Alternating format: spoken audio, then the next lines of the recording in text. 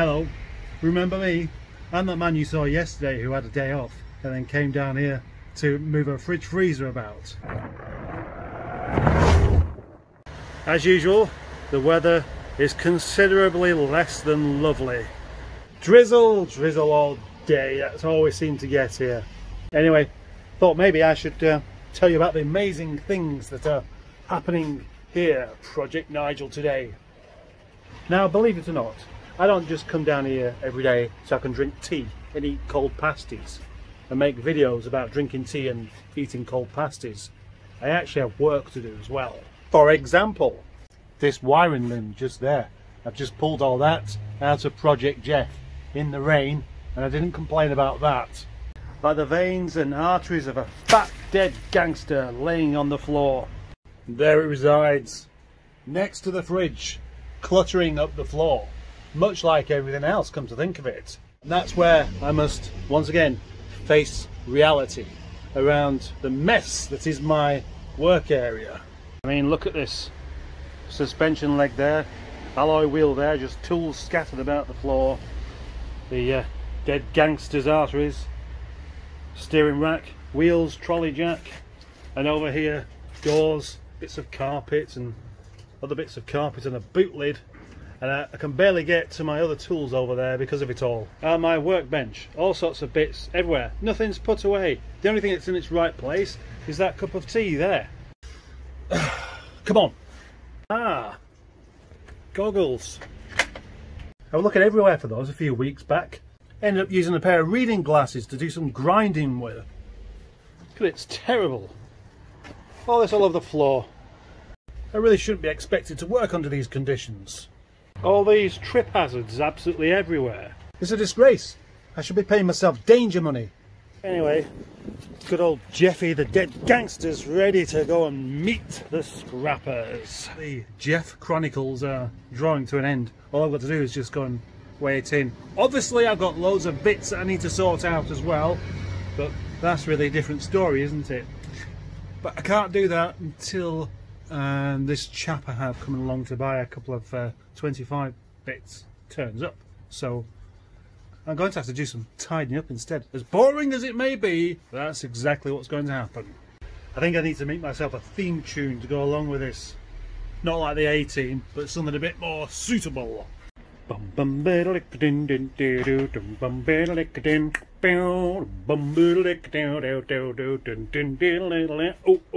Well, I was just moving this uh, R8 suspension leg and uh, just carrying it and it swung right into my shin.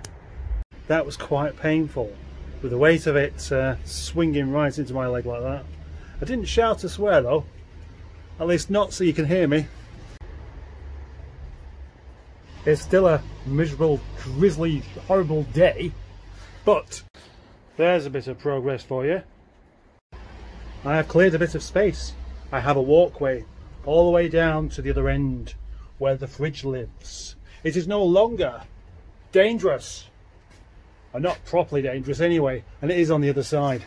However, this chap hasn't turned up yet. It's nearly an hour later than he said he was going to be. So if he doesn't turn up, I'll be quite disappointed. I'll wipe the smile off my own face, I reckon. Only because I need to get rid of a dead gangster off the back of my truck called Jeff. Otherwise I wouldn't mind too much.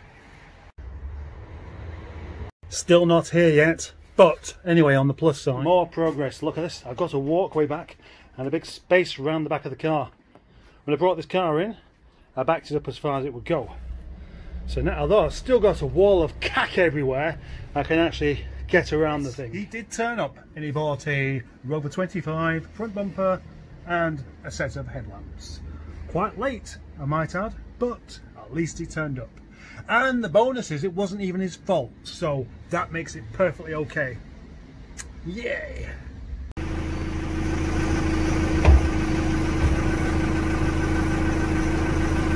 Jeff is now buried. And for £65, I weighed the old girl in. The old girl called Jeff. That's a nice one, isn't it? So you can see why this I go to the effort of taking off as much as I possibly can because otherwise I'm not going to make any money out of it. Now my next job's quite an easy one. All I've got to do is jumpstart project Dom. Um, because the man who owns the car needs the mileage and I can't get it because the battery is completely goosed. So, we need to have one of my nice cars here. Adam to the rescue. Any car would do, any car with a battery that isn't completely goosed.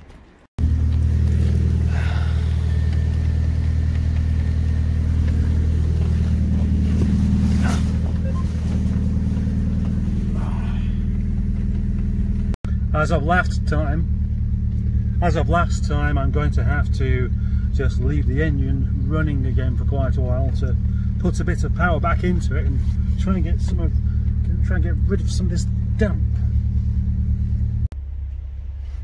You can hear it. I'll miss that sound, the sound of uh, of the thrummy dom right down the back of the workshop there. Probably what actually It's going to end up running out of petrol before long. On my way home. Um, and yet again, I finished the day without coming to any kind of conclusion. That might be because I nipped into the garage um, just before and ended up chatting with some of the chaps there. And it turns out that uh, one of them has been watching some of my videos and I'm not very happy about that. I don't want people I know seeing my videos and then taking the mick out of me for them. I'm very, very upset about that.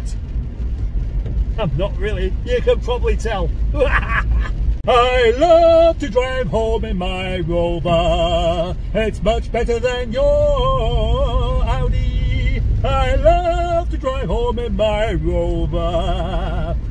Yes, I do. You probably gathered that already.